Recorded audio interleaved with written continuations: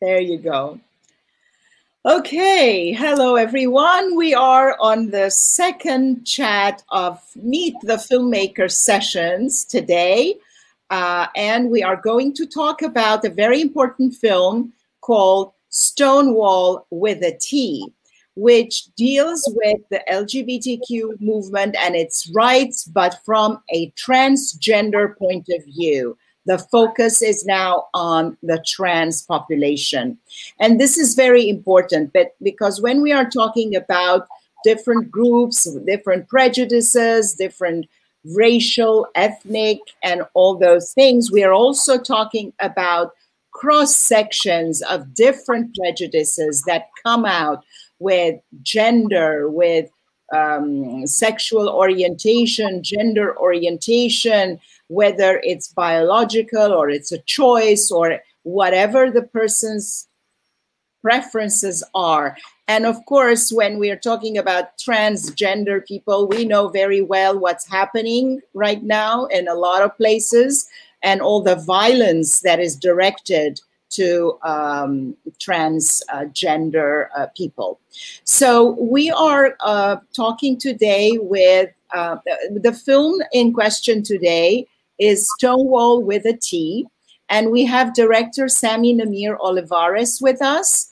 We also have Tanya Walker, who's a trans activist, and she is featured in the documentary. And they're going to talk more at length about this when we get there.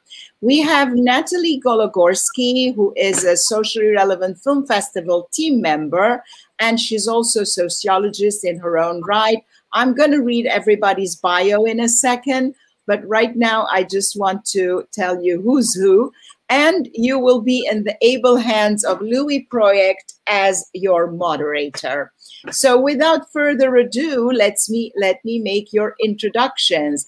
Louis Proyect is the film editor of Counterpunch magazine and a member of New York Film Critics Online.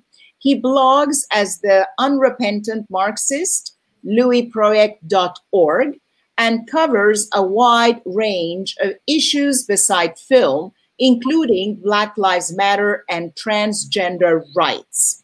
Natalie Gologorsky is a sociology researcher and educator with a passion for children's and youth's voices in learning. She recently completed her master's in sociology at the New School and for social research. And prior to that, spent a year in East Oakland, California, working as an AmeriCorps math support teacher as an un, uh, in an underserved public middle school.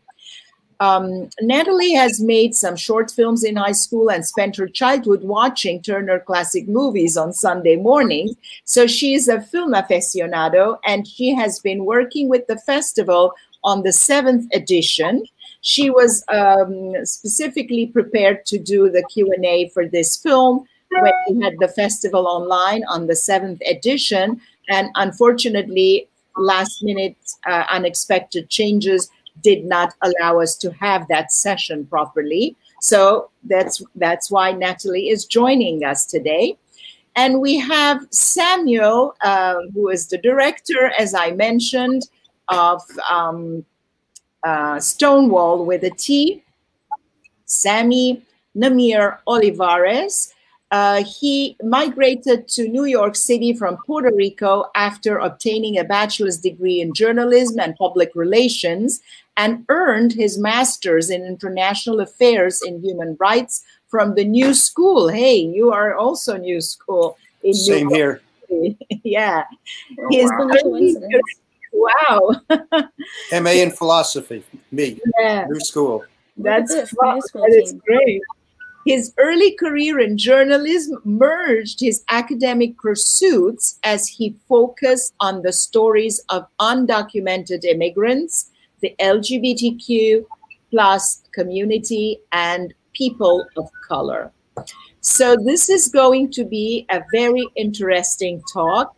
Uh, as I, uh, I didn't introduce myself, I am Nora Armani, founding artistic director of Social uh, SR, the Socially Relevant Film Festival, whose mission is to shine the spotlight on films that otherwise may not get seen either because of content or because of the fact that they are dealing with some social issues that people might consider not so commercial. So, you know, so we like to be that festival, that platform that offers that opportunity. And uh, the films screen on Friday and Saturday. Uh, on Friday, we have the uh, seven o'clock session of the films that uh, we had a chat with the directors with yesterday. And Stonewall with a T screens at um, 7 p. I mean, no, am I right? Yes, 9 p.m. on Friday evening. This coming Friday, 9 p.m. There are going to be Q&As afterwards, so whoever is watching and would like to make comments, please feel free to put your comments in the comment section right now, and we will answer them. But also come back after the screening of the films to ask your questions to the filmmaker. On Saturday, we also have a very interesting program. The Saturday program is mostly focused on the prison system and the correction system. And it's about capital punishment, education in the prisons, and inside and outside, and how we deal with that. Of course, all these issues, when we are talking about these issues, it's always the minority within the minority that is the one that suffers the most. And this film here is one that deals with that. So without further ado, let me take my leave and leave you in the able hands of Louis Proyect. I'm going to come back towards the end with some of the questions and comments that the audience may have asked and continue to have the discussion. Okay, there you go. How do I get myself out? Yeah. Okay, before we get started, uh, Natalie, I, am going to be asking questions, but you I assume you're going to be jumping in anytime you have something you, you want to either ask or say. I assume is that right? Yeah. Uh, so yeah, I think so. Or I mean, whichever. If you want to hand it off to me, sometimes that's also okay. Sure, sure.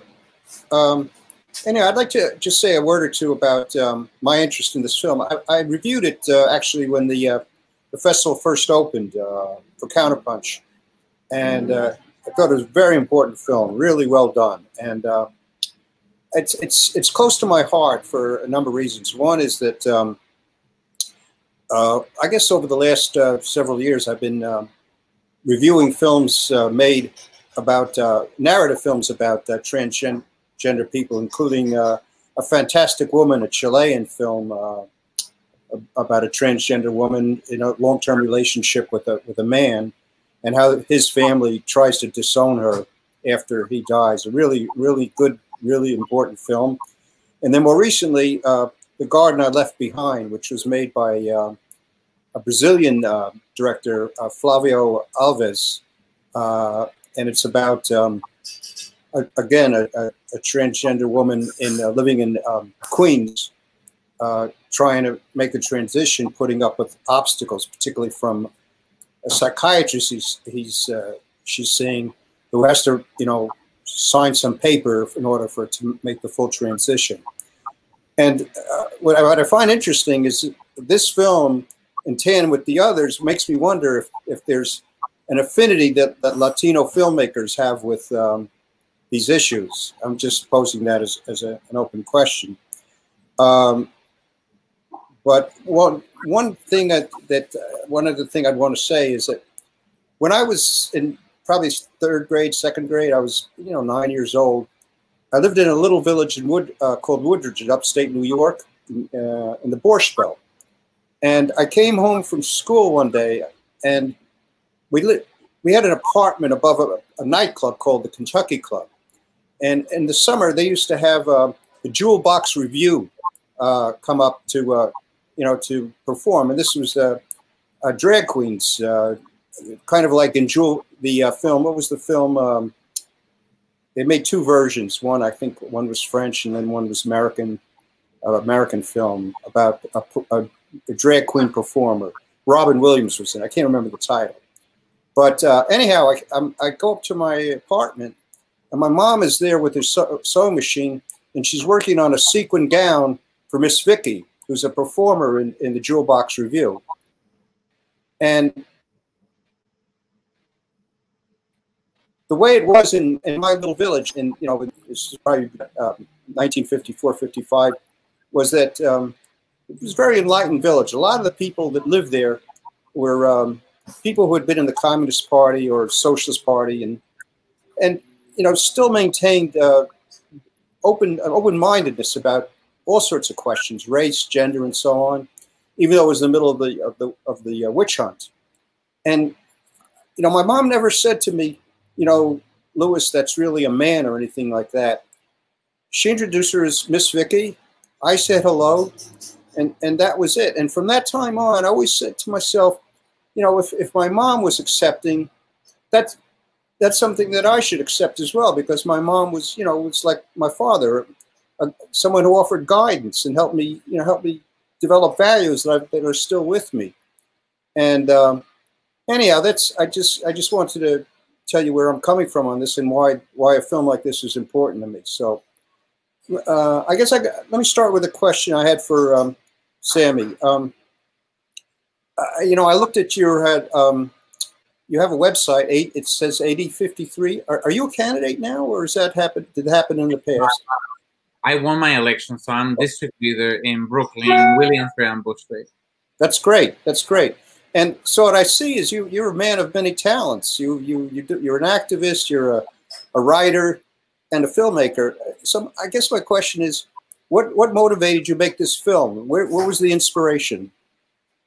Sure. So I don't know if the the short story or the long, but um, um, I think thematically, um, you know, I think shows me I was um, going back to you know Latinos, like you know, being kind of the forefront of of transgender and LGBTQ issues. I was born and raised in Puerto Rico, and um, I was uh, gender has been kind of like an impactful in my life, and um, my mother, you know, I, I consider her gender non-conforming. She never conformed to the gender norms of women in Puerto Rico.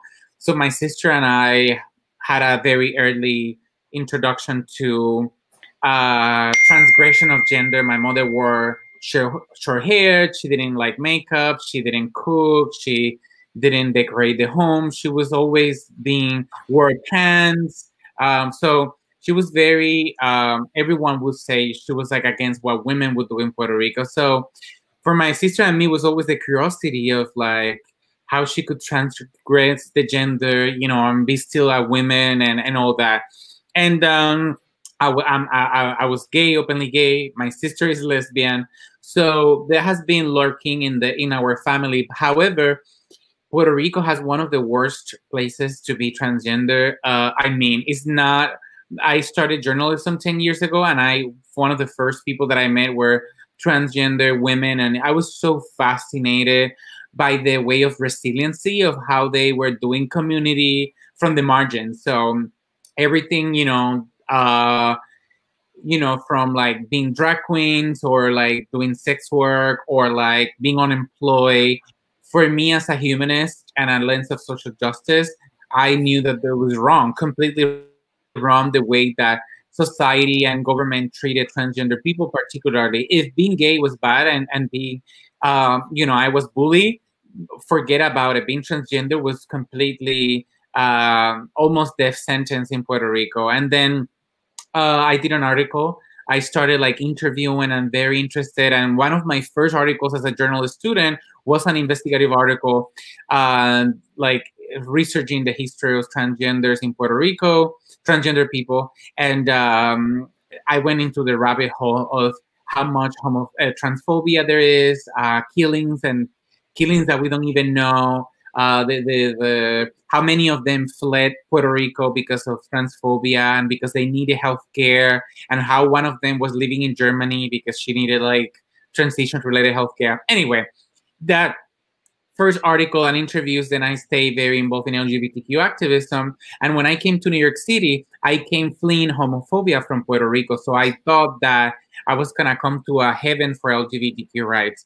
And um, I joined the master's degree at the New School, and I wanted to choose as a topic why transgender I, I learned somewhere that transgender people didn't have civil rights in new york. And i was so infuriated about that and i was like how is it possible that new york city does not have civil rights? I said that should be republicans. That should be the churches and religious groups. So i'm to do my thesis about this. My question was why what did the conservative and religious group did that transgender uh, people does not have civil rights? And that was the the question. And then i started interviewing. Tanya was one of the first uh, women that i spoke with. And then quickly i realized that that was not the true uh, it was actually not even conservative groups and like the documentary like tells more about the, the very complex situation. But I think was coming to New York and seeing that it's not as a perfect place for LGBTQ rights when transgender people didn't have rights for the past 15 years. And they they were organizing they were doing protests and marches and no one knew about this.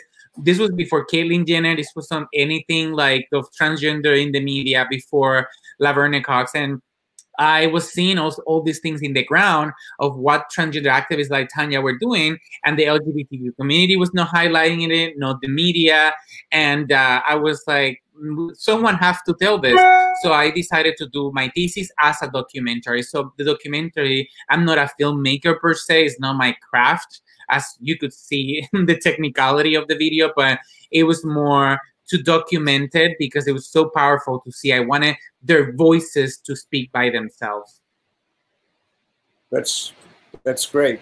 Uh, uh, I see. I see Tanya's mic is is uh, there's a slash through it. Can you hear me? Yes, Tanya? I can hear you. Oh, oh, oh great, great. Uh, so, I you know. Um, the, the film, uh, I, I can't really. It's it's not like the film is lacking in any way. But as I was watching it, I was I was wondering, as I as I heard different uh, different uh, transgender women speaking, um, I, I was wondering to myself, what what was their uh, childhood like? What was it like uh, growing up uh, when you when you suddenly realized that you you felt your your identity was female and not not the one that you were uh, genetically born with.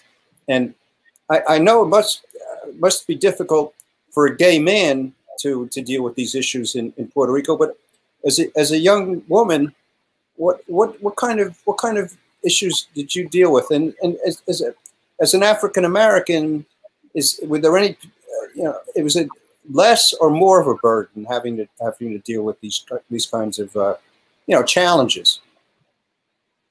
And I think we didn't have a chance to introduce Tanya. And, so why not you?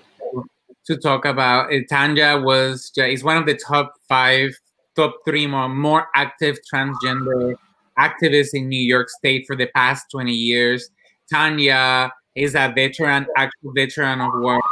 Tanya is a veteran activist, um, and Tanya, we'll talk about her, I want to talk about her later work. She co-founded a group called New York Transgender Advocacy Group, which is featured in the documentary, uh, alongside another group of transgender women of color to advocate for their rights. One of the first, you know, trans-led groups and like by Black women and, and Latinx women.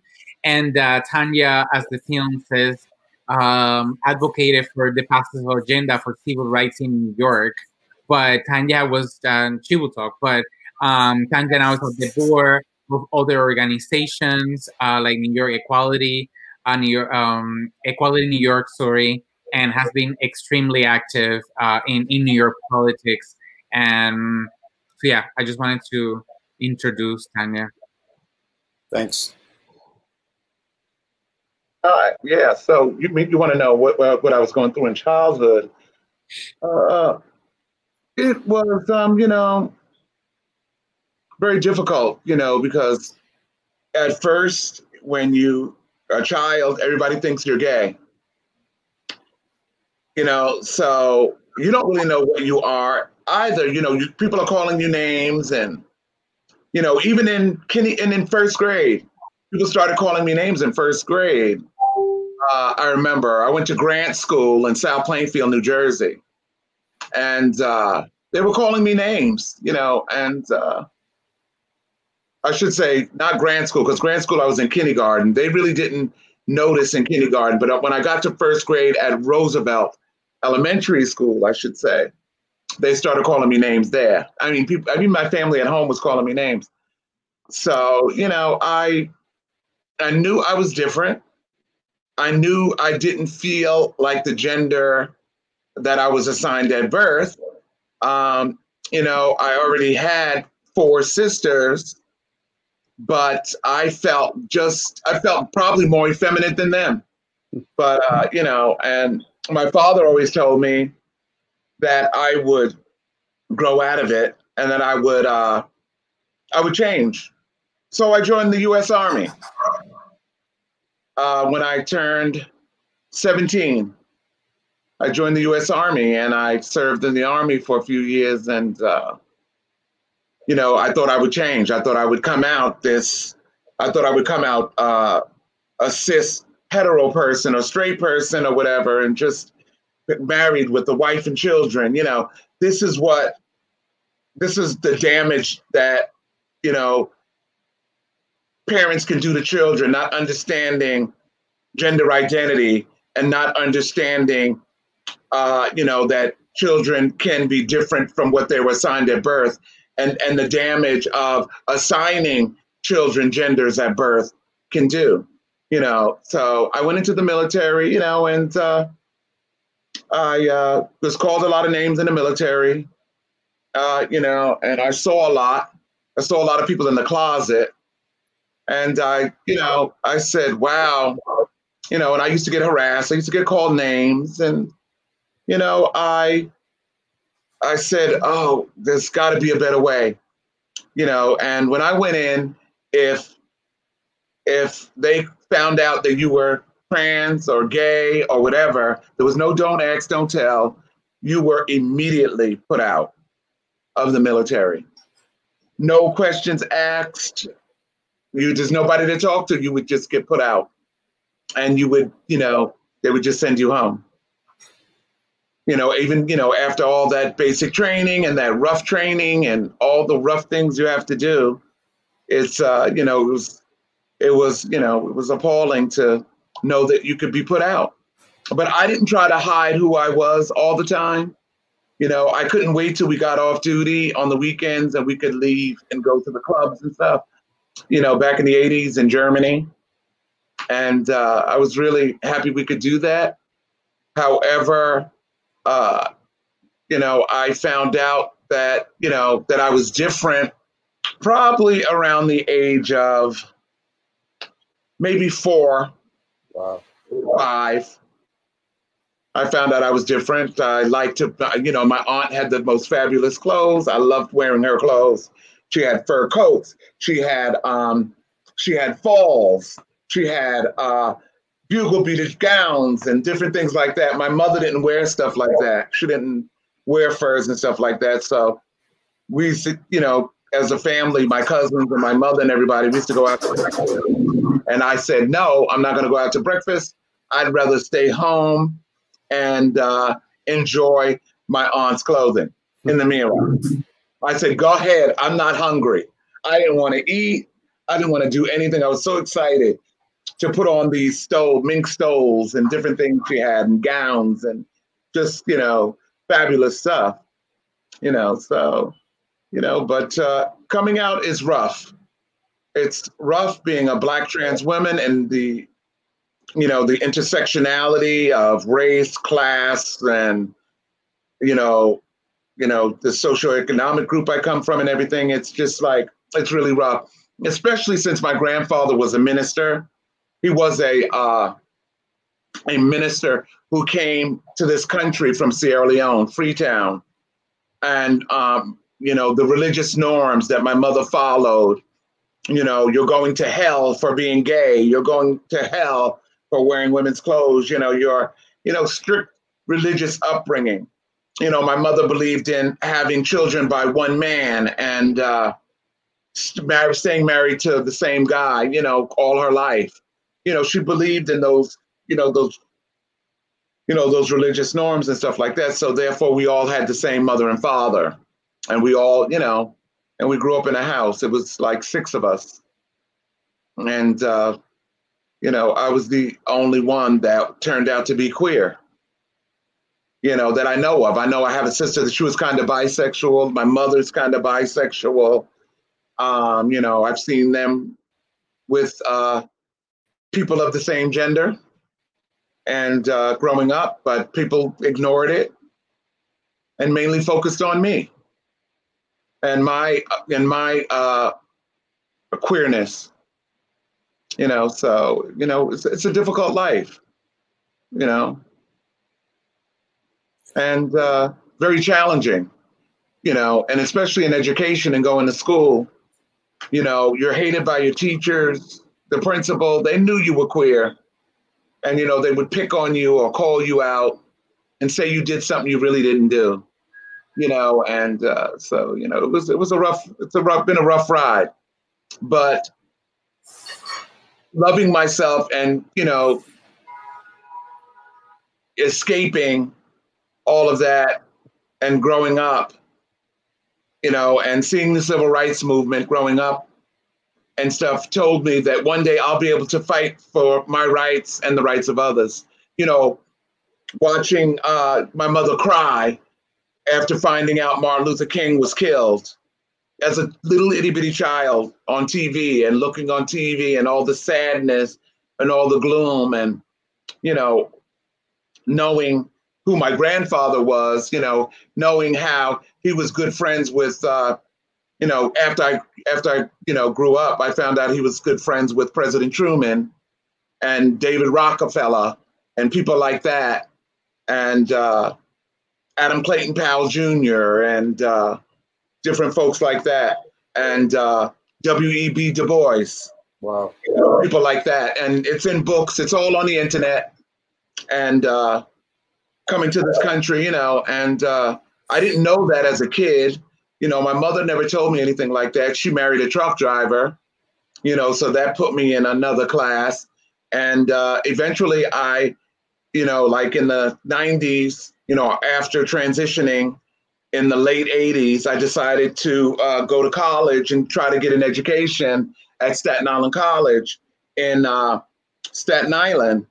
And while I was there, I no one wanted to be the head of the LGB organization there, the L or the lesbian gay organization there. There was no nothing else. It was just lesbian gay, and so I took it upon myself to do it. So, you know, uh, Guy V. Molinari in 1994 said that Judge Karen Burstein uh, was not fit to serve as Attorney General of New York State because she was an out lesbian and um, I organized a protest at the campus because he had one of his staff members coming onto the campus, and uh, some media came. You know, some newspaper at Staten Island Advance came, and I guess I don't know who else was there. And I held up a sign that said, "Gays and lesbians live in your borough too. Shame on you."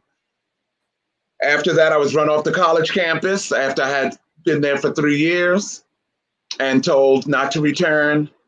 And uh, then I was un- I was unable to continue my education, uh, you know, on that campus. You know, after trying effortlessly, you know, to try to you know return, uh, they said there's nothing we could do. The police said there's nothing we could do, but I said my life was threatened. You know, I would like to complete my education and get my degree in social work. And uh, I was unsuccessful.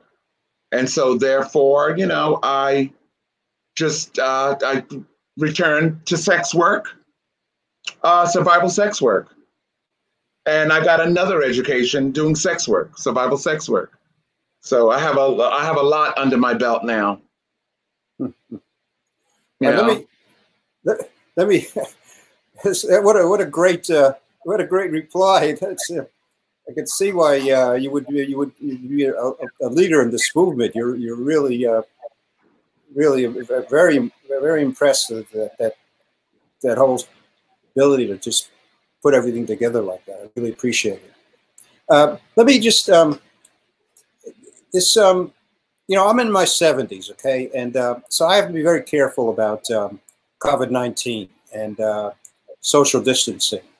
But on um, June 14th, there was a, uh, a rally in in uh, Brooklyn, the um, at uh, the Brooklyn Museum, and you know I was I, I watched the videos, and um, I just you know I was I was really I just found it so inspiring. Here was uh, say up to fifteen thousand, maybe more people uh, were celebrating uh, or not celebrating, but defending black trans rights. And when you when you compare that to you know to the film where you know that it's it was it was beginning in the, like after 2010 2015 to be the uh, more of like a support for for trans justice to see to see something like that I, I, I my, so my question is how, how do you gauge that the importance of that rally does it does it symbolize that that people's minds are beginning to change I guess that's to, for Samuel and Tanya. Yes, I believe they're beginning to change, but not fast enough because uh, at least 24 tra- black uh, transgender women have been murdered, on, and most of them black uh, in 2020 this year already. The, these are the ones that we have on record. We don't know how many other trans women were actually murdered, but I know the last count I saw was like 24. So, um, you know, um, a hashtag and uh, a hashtag and uh, and just showing up and supporting is is not enough. We need more. Okay. We need more funding. We need more. Um, you know, we need more uh, education housing, uh, uh, culturally competent mental health professionals. You know, we need to be self-actualized in society, as in Abraham Maslow's hierarchy hierarchy of needs, as I always say. You know, um, you know, uh, we need it for coming from the Black community as well, because uh, you know the Black community, you know, many of them uh, work, you know, still have their colonized minds. Uh, you know, um, I know transgender people were in these societies before colonization and they weren't killing them. But now, after colonization and slavery, uh, you know, now we have Black people killing transgender people, you know, that are Black like them um, because of who and what they are. Or, you know, and, and, you know, it's a particular hatred that they have towards us. And it's also misogyny. You know, uh, it's trans misogyny um, that they have, you know, against femininity and against women or anybody feminine or anything feminine. And it's really, um, you know, it's really, you know, you know, destroying the fabric of society by not uh, letting, you know, black trans women be who they are and, uh, you know, I believe that the religious organizations uh, or clergy or faith organizations need to also get educated and help us as well. I mean, because Black lives don't matter until Black trans lives matter. I don't see how they could separate the two. I mean, I wear the same skin color as as other blacks. However, uh, they like to say that, oh, your community is over there. Your LGB community is over there. Um, you're not a part of us. They separate us from the Black community. I mean, people within the community. And I think that's very dangerous and damaging to not only the community, but to society at large that they uh, would do something like that. You know, and it, it's, you know, and transgender women, you know, are deserving of human and civil rights. And we have an administration in Washington that, uh, you know, when he comes out with his, you know, genocidal policies and and laws and rules, it mainly affects uh, trans women of color and poor and black trans women. Uh, mainly, it affects immigrants. it infects, you know, people who are marginalized in society, you know, uh, more than anyone else. And I think they're also his genocidal policies are very dangerous, and uh, it's part of the reason why we've lost 24 uh, trans women, or mo- mostly Black trans women, this year. And uh, you know, um, I think it's uh, it's very sad, and um, that's what gives me the energy to keep fighting. You know, because um, you know I'm a veteran. I served this country. Um, the one the the guy in power is a five-time draft dodger who claimed he had bone spurs. You know, and um, you know I feel like you know that I and we deserve to be treated better in uh, society. Samuel, do you do you want to do you want to uh, chime in or say anything on on this? I mean, no, Danya says yeah. everything. Uh, Natalie, um, why don't why don't you uh, uh, say, have, have uh, your your play you know uh, jump in and, and you must have some uh, questions or, or comments. Yeah, I was actually just gonna ask if I could jump in. Um, sure, go ahead. So, if I if I can just share a little anecdote really quickly that gives context for my question. Um, I went to a, a small historically women's college for my undergrad. It's in Oakland, California. It's called Mills College. Um, really tiny, and they happen to have like an experimental preschool on campus for the education students. And they made the news because there was, I think, a two or three year old child I, I can just share a little. Who went to that school who um who ca- came out as transgender um in the in the preschool and and the child they respected the child's new pronouns and outfits and a new name even. Um and and i guess there was you know a lot of strong opinions from the community about this.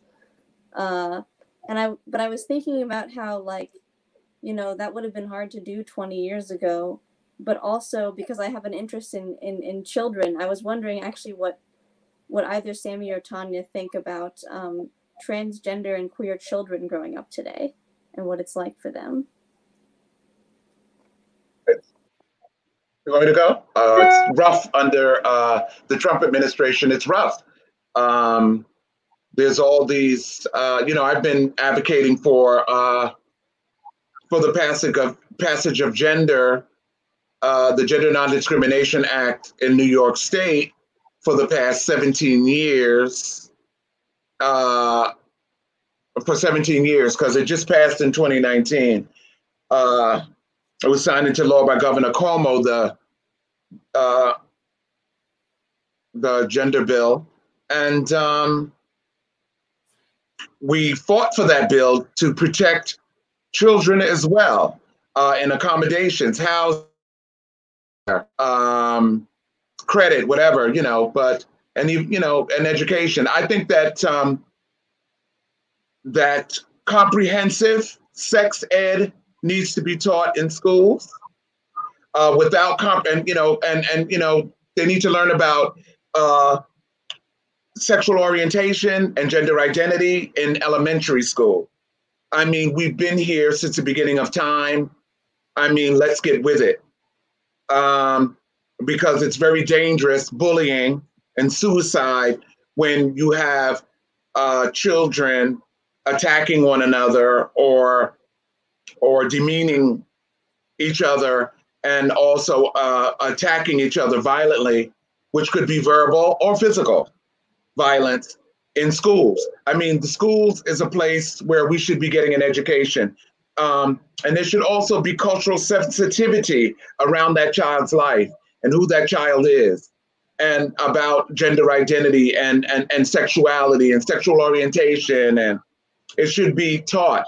It should, you know, everyone in the in that system should have to be forced to learn about, uh, you know, you know, learn and become culturally competent or, or around cultural competency and uh, transgender people because um, you don't want that child to commit suicide, and you don't want to be the teacher or faculty member with blood on your hands for not protecting that transgender child. So um, people should be aware of of how they are approaching uh, the uh, the you know this child and uh, be aware that you know of the harms that they could cause by not by, by being willfully ignorant or not you know and not wanting to learn about trans people I mean, what Tanya said Thank you very much. is it is the the, the horrific. Hear me well? I actually from echo. Um, youth, particularly, you know, LGBT youth across the country.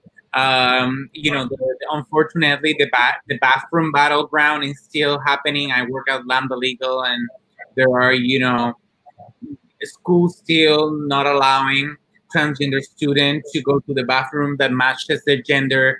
Uh, teachers that are misgendering the students and are not allowing them to you you know respect the names that they prefer their genders with they identify the the pronoun they identify with um miscalling them not letting them use the, the uniform that they want. So there's still a lot of things particularly in rural areas that trans youth are are going through. However i wanted just to quickly add that a lot of things also are changing.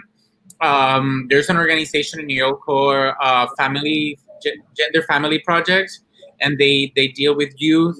And there are so many like accepting parents uh, now because they have been educated by precisely you know documentaries or like the, the media coverage after Laverne Cox and after um, uh, Caitlyn Jenner and other like movies that it's really opening the path. Um, so I think when you see these trans kids of accepting parents, they are so happy. They have so so much self esteem.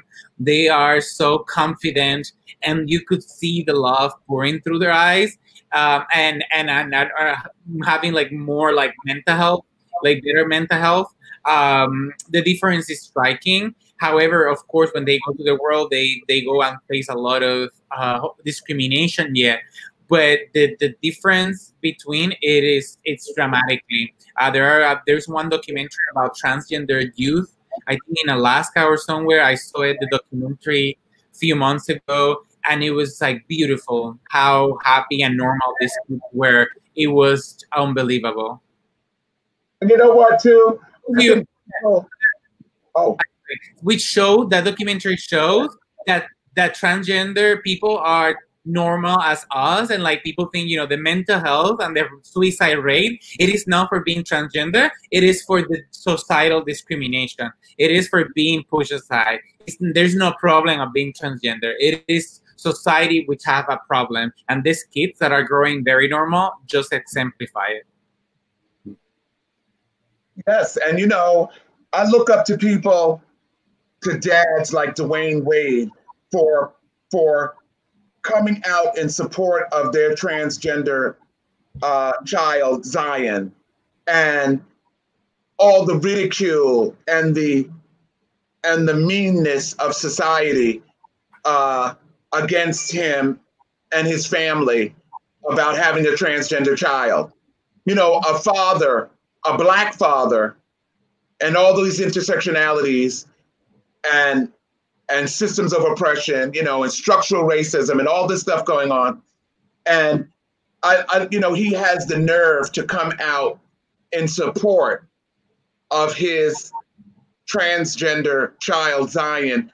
That uh, that gives me hope in the black community that this father uh, you know it takes a real human being and a real parent to come out and support your child and learn about what you didn't know before. Because uh, Dwyane Wade didn't know anything about transgender people or anything, but was willing to uh, go into the community and, and learn from uh, transgender people who are out and proud in society. And, uh, you know, I really respect Dwyane Wade's decision to be out about loving their transgender child, you know, and uh, today. And um, I, I'm really proud of Zion because Zion could save the lives, help save the lives of many other trans youth who are questioning or who are about to take their own life because they are who they are and they're born that way. Gender is in your mind, not in your genitals.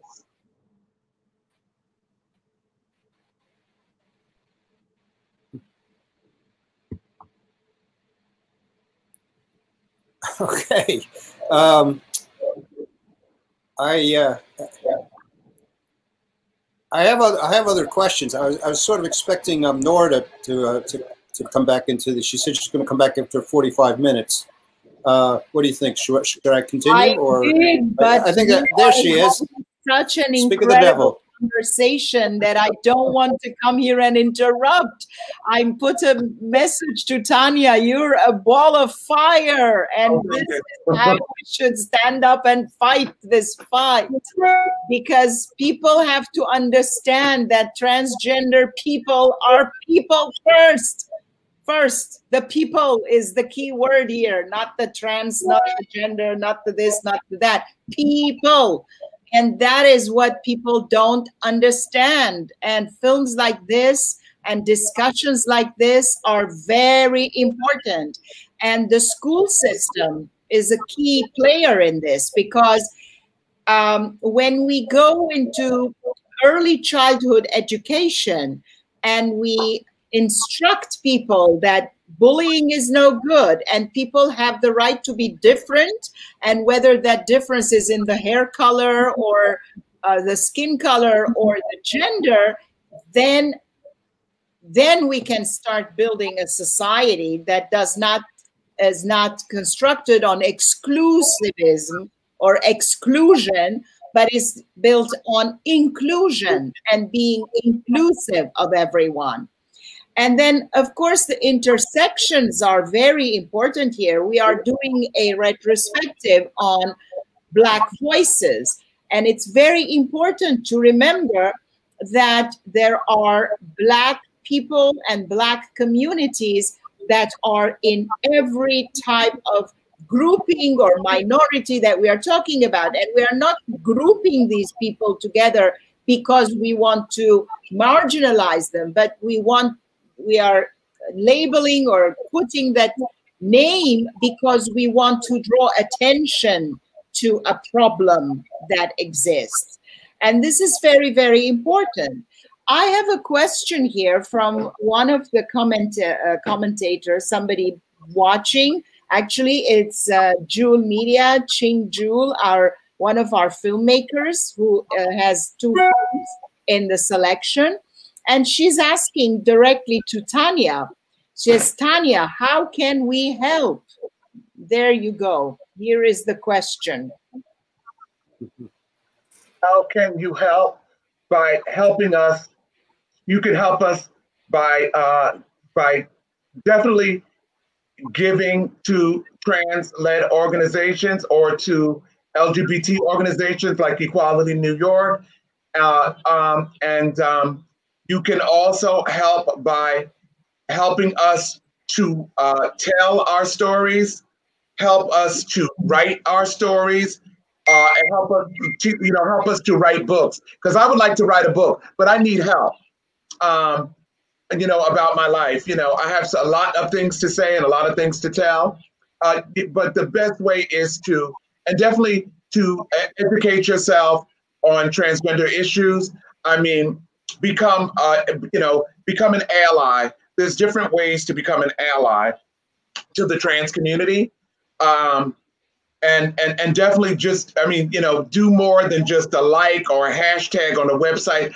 Um, when you see a trans person being abused, uh, please uh, uh, please stand up for them and help to educate others as a cis person with cis privilege, because we don't have those privileges. And uh, definitely, uh, I mean, I need you know, more outlets to to you know to be able to tell my story. But I definitely want to maybe start writing a couple of books. I don't know where, when, why, or how to start, but I would like to write a book, you know, on you know on my life experiences and uh, the experiences of people in the trans community. Well, actually, writing a book doesn't have uh, many secrets to it. Of course, it's great to be funded and distributed and produced. But I heard your life when you were talking about your childhood and yeah. what you went through and uh, the army. And it's like, it's funny because it's not funny, not in a ha ha way, but strange because you're trying to get integrated. You're making every effort. And at every step of the way, you're getting a slap in the face. And this is what is the gist of your book. It's a slap in the face. And a, slap in the face is like putting it so mildly, where I wish it ended at a slap. We're talking about violence here or cutting people's throats and killings and and you know discrimination that is genocidal, like you were saying. So um, maybe I don't know what uh, how we can uh, maybe you can start by writing a, a film, a short story, a, a, a, short film, which is relatively easier to make, or yeah. a narrative feature film that you know can start now with you, your character now, an activist, and then a conversation starts, and then you backtrace and with flashbacks and things. And uh, I mean, from the point of view of the film festival, I mean, I'd be more than happy to read and give you feedback if you have some ideas put together. And we also have a film script writing competition, uh, not at this series, of course, but annually when we do the festival. And hopefully next March we'll have the festival's eighth edition. And it's like by seeing how other people have done it, and it's basically you know once you crack the code then it's very easy relatively easy it's easier said than done but your story is so fascinating that it definitely needs to be told oh, and down thank you and if people like sammy definitely help fund people like sammy who are who are putting these films out there uh, we need more because uh, people like to. People are more visual these days. They want to see. They they do Facebook Live all the time. They you know they. We need more media, more exposure uh, yeah. to uh, film, uh, like you said, uh, and definitely, and and like Samy, Samy really helped. You know, really helped put us out there, and, and you know, we need to support people who are who are who are, um, you know, in the community who are also uh, helping us to get more exposure uh, where people can learn. Because yeah. uh, some people, that's the only way they learn. Absolutely. I think exposure is key because yeah. uh, ignorance about a, a topic or something can make opinionated about it without even knowing anything about it. But once they get to know the person, they know what the story is, they know you as a person. Because your life is fascinating. You've been, you've done so much, and it, it's right, wow. And then people know, wait a minute, is this all these things happen to her? It's unbelievable. And then they start thinking in a different way. Yes. I used to be a case manager at Housing Works for seven years in a TGNC and B program. And I have a lot of stories of having to to teach cultural sensitivity while trying to help a client with mental illness and substance abuse problems. You know, I, I have those stories as well. So I carry a lot under my belt, a lot of history, under my belt of, of working in the field in a clinical setting with a with a program director and a case manager supervisor, and I was a case manager. I also worked as a community follow up worker with single families and adults who uh, were homeless, uh, addicted to drugs, uh, and also HIV positive. Uh, I've done that kind of work as well without a degree, but I had those experiences. Yeah, it's like field work, the actual hands-on field work. Yes. I can even see something like this becoming a, a, Netflix series, you know, because it's like so many intertwined stories from one to the next, from one to the next, and that, you know. God listen to you. Yeah. But yeah, If I may Tanya, jump in a I- second. Natalie is trying to say something. Yes, Sorry, Natalie. I don't have the loudest voice. I, I know, but um, I I'm more of a researcher than a presenter, but I try. Uh, so you know, speaking of that, I was actually wondering what you thought of since we're talking about trans representation in the media. There's this great show from FX. It's on Netflix called Pose that I've been kind of obsessed with. I mean, I just finished the second season, and um, I don't know. It seems like it's it, it. The people said it made history for having like the most trans actors and actresses in a show, and also writing for the show. So I was wondering what you think of that. Yeah, I, Okay. I will let um Tanya talk about FX uh, Pose, but before I want to say that this documentary, um, I didn't pick the subjects. The subjects came in a snowball. What we use in in social in the academia, the snowball effect that you get one transgender person and the subject, and then that person keeps recommending you. So I did not.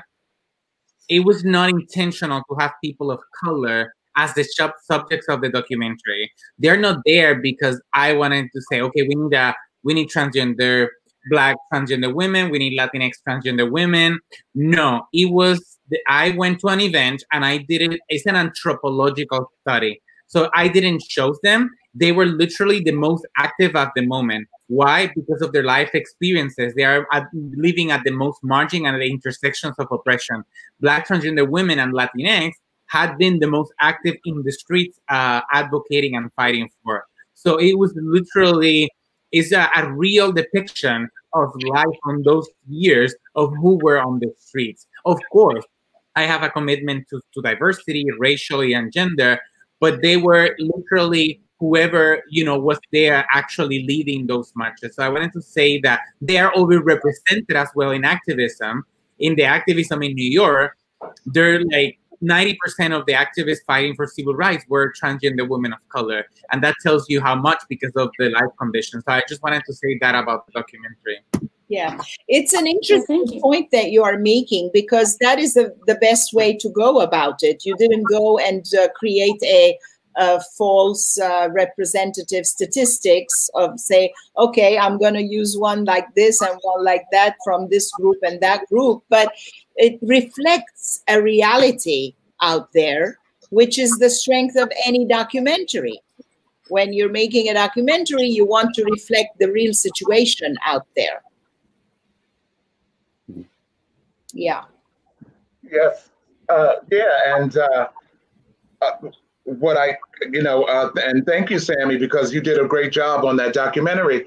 Um, you know, uh, like Sylvia Rivera and Marsha P. Johnson were instrumental in were instrumental in starting the actually kicking off the gay rights movement and and actually uh,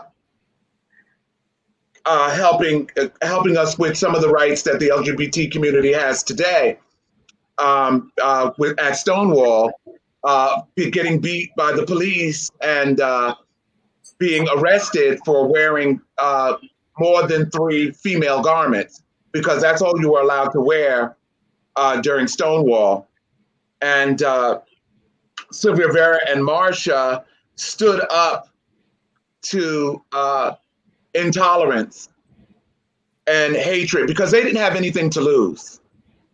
They didn't have, they weren't going to lose a will, you know, from their families. They were already kicked out and tossed into the streets already, uh, you know, with other uh, young people at that time, and they, you know, they were the ones getting beat up outside of the Stonewall uh, and getting arrested the most, because many of the gay people that were inside Stonewall were, they were educated, you know, mostly white people who had who were in the closet, who really had had the the means to pay off the police so that they wouldn't be outed or get their name in a newspaper because back then uh, gay people were targeted uh, and outed in the newspaper for being uh, busted in a bar. So, uh, you know, Marsha P. Johnson and Sylvia didn't have those means. And so, uh, therefore, they were the most vulnerable and uh, they were there fighting you know, because they got tired of seeing gay people having to be in the closet, threatened, having, you know, money taken from them by the police, you know, and they fought and they put their lives on the line for the rights that that most in the LGBT community take for granted. It was trans women of color and black trans women who fought for the gay rights that people uh, are experiencing today and it was a riot. Stonewall was a riot. And most of the photos that you see of the folks who are in those, you know, for the Stonewall riot, those were like two or three days later after the, the initial, uh, the initial, initial start of the riot, because the cops kept busting Stonewall. And Marsha, I met Marsha in 1986, but we didn't talk about Stonewall. Marsha was just you know, Marsha would just stand on the corner collecting money to give to the homeless youth that were out there, you know, and she would be talking to other people. And uh, she was pretty brilliant. You know, Marsha was brilliant. And she used to read the New York Times in the park, you know, and she really wanted the LGBT community to be safe and definitely be humanized in society, having civil and human rights being, you know, entrepreneurs, homeowners, being able to, you know, to to uh, live in society uh, beside everyone else, you know, and and and these are the strong trans women who I stand on the shoulders of to this day. Yeah. And you are crea- carrying the legacy in a very brilliant way. So, uh, power to you and courage. And, you know, anytime if you need any i don't know exposure or something and we'll be more than happy to help in this because this is a very very important topic it's a topic that often gets forgotten about and it's a violence that gets swept under the carpet and nobody wants to deal with it and it's very very very important and um, we can still continue if you have another question, but let me just uh, mention one thing that the entire program we are offering is offered free of charge. We are making these films available for which I specifically want to thank the filmmakers for allowing us the uh, possibility of uh, streaming the films free of charge because just for what you were saying, we want to make the public, the general public, aware and educated, enlightened about these issues. And for that, no money is being charged. People can just log in. I mean, they have to register so they get the link and password to the film and then they can view it. However, we are encouraging people to make donations uh, in exchange if they want, if they can. And we are sharing those donations with the Equal Justice uh, Initiative, with New York um, Civil Liberties Union, and Real Works, which is a youth organization which allows teenagers uh, to express themselves to film through video, telling the, their own, uh, mostly they're teenagers of color in this particular case, and to be able to find a platform to voice their uh, stories and express themselves.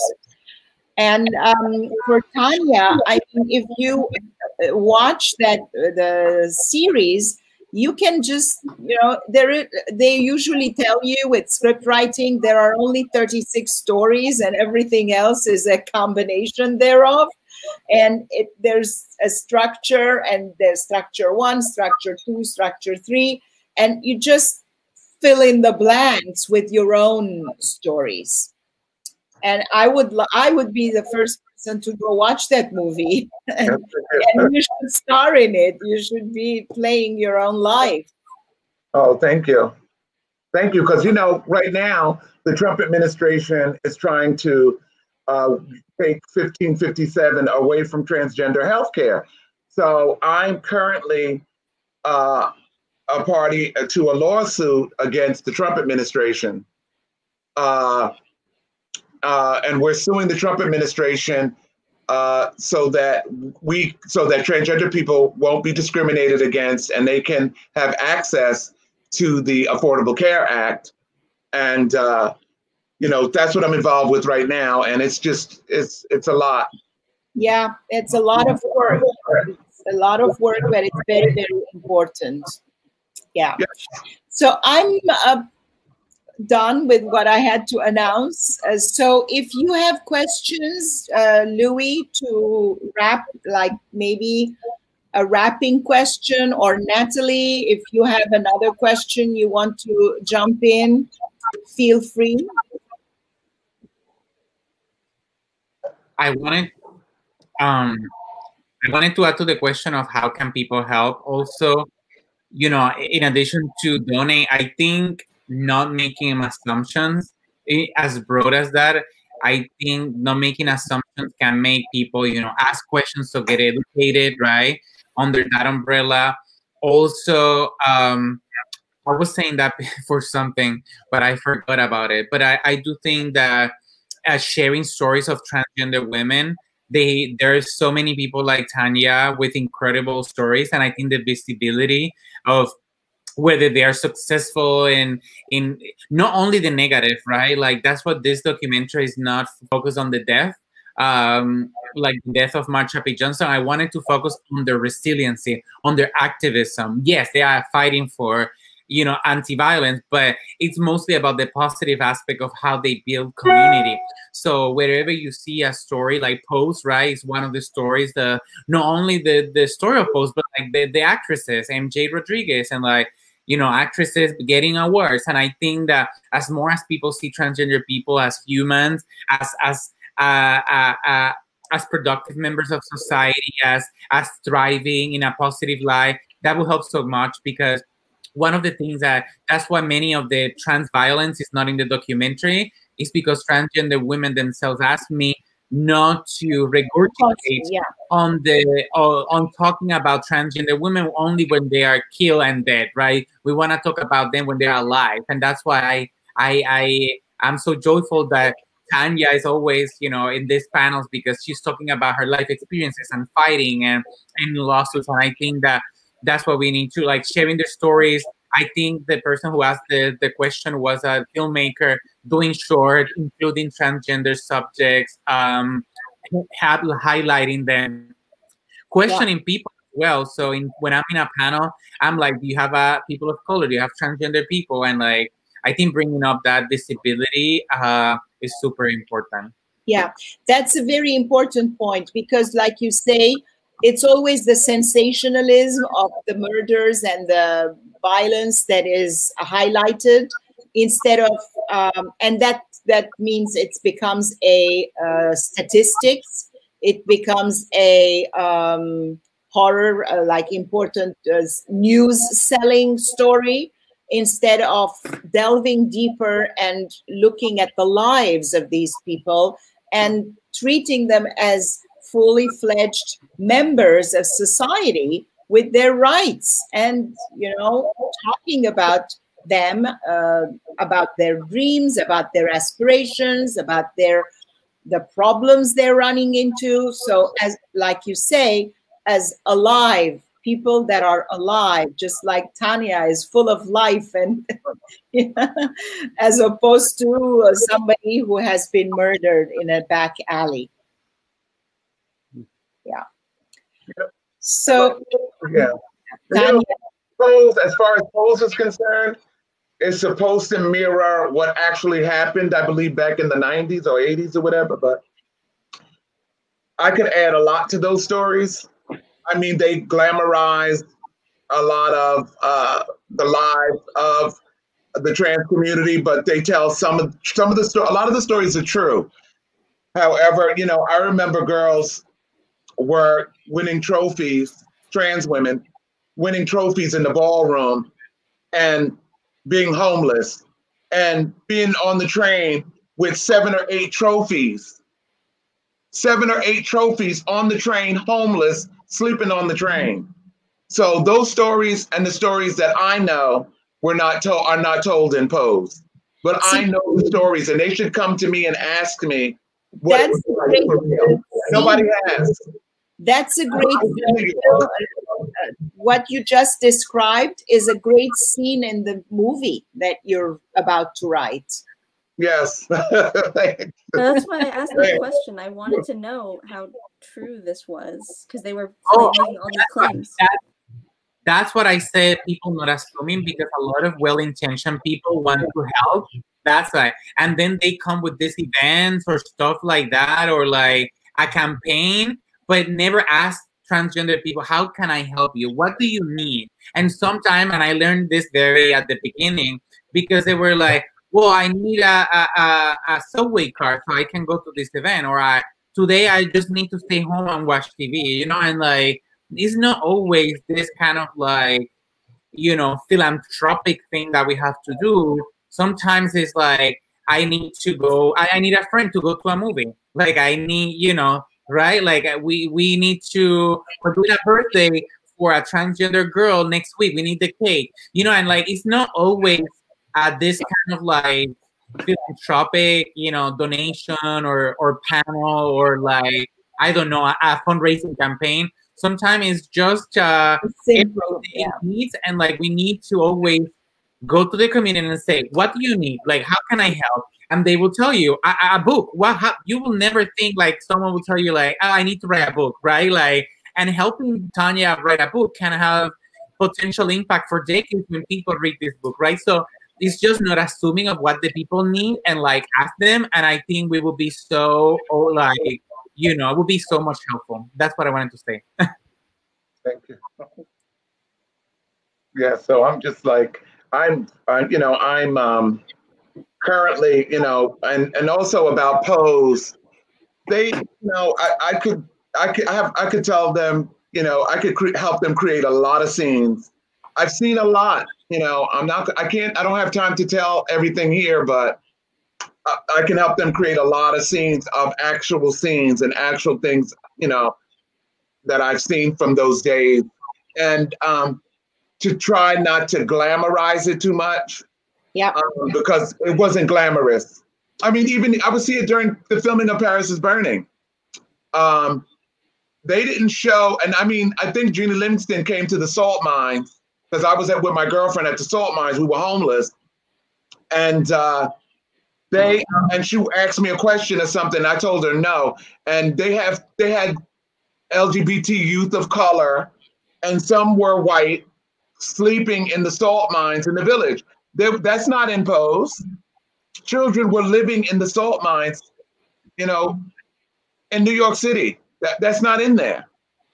Yeah. The children, people threw out their children's nine year old children doing sex work, having to be forced into sex work. This is the reality and the harshness that's not shown, that's not seen. Yeah it's very important not to glamorize because obviously the film we are talking about should not be something that's made in Hollywood. It's more like a down to earth European yeah. sort of uh, almost like a documentary style thing because it has to have the credibility, it has yeah. to have the real life. Uh, you know, feet yeah. on the ground feel to it, and not like uh, la la land sort of thing. Yeah. You know? yeah. Well, we are having a fantastic conversation, and I'm really feeling bad to be the bad guy and say we have to end it. so it's, we're already 14 minutes over. Can I? I'll have uh, Louis say his last wrapping words and then I'll thank everyone. Or maybe I should thank everyone now and then have Louis say his last uh, wrapping words.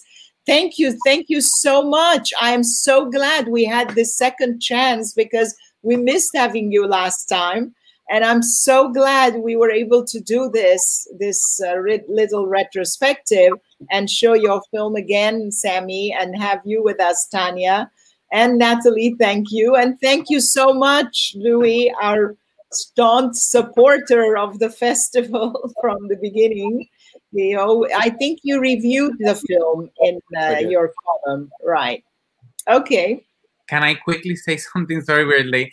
Um, but before we leave, like I want to reiterate that where Tanya is living history and transgender rights exist today because of Tanya.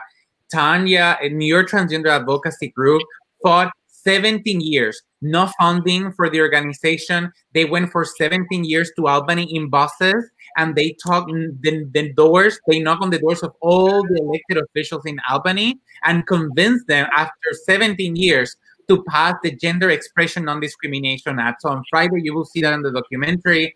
And it was because of her their work, and they were so insistent, so touchful, so convincing, and uh, they stood in the in the stairs last week with the governor and signed that law. And and it was a beautiful thing to see how the activism actually had some impact for, for millions you know uh, yeah. the state of new york. So yeah. the first time that transgender people have rights human rights in the law in new york this you would think that that would have happened. That happened just last year. And tanya was there and tanya made it one of the, the key people who made it. So it, it is li- living history. So we need to make it in the in the history books. This is great. And so now this talk is going to be online. It's going to be on our YouTube channel. So you can ask other people to view it later on if they didn't join in now. And all this information is already in there. So now we know and applaud your efforts. We applaud your efforts, Tanya. Thank you so much. You. And Thank Louis, Mm-hmm. So you want to say something and wrap it? Who, me? No, Louis. Oh, Louis. sorry. oh, you too. It's okay. Uh, it's, it's Zoom. I think he's probably having an issue with his sound or something. I'm seeing Louis' image frozen.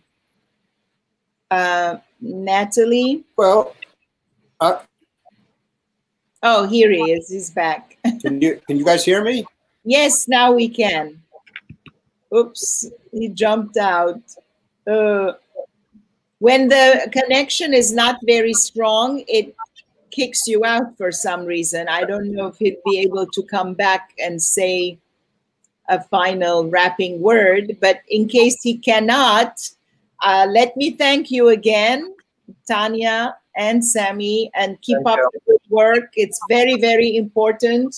The advocacy work, whether it's on the political level or on the social and entertainment level. Entertainment is very important because sometimes with advocacy and with, um, you know, we stand up and make political speeches and switch off, and then uh, uh, you're back and they switch off. But with art and entertainment, we get to their hearts and they start thinking and feeling. Yeah. Yes, just, Lou.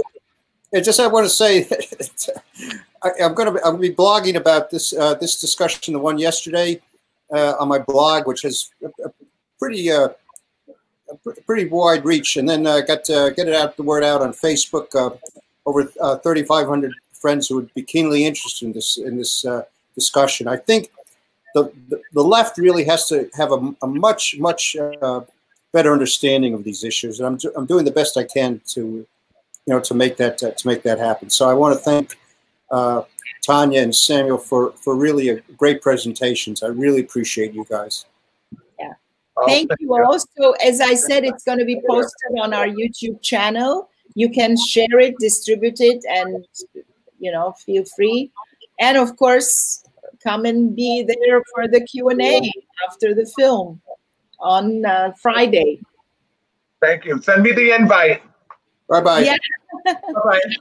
Thank you. Bye. Bye. Bye, everybody. Thank you. Thank you so much. Thanks.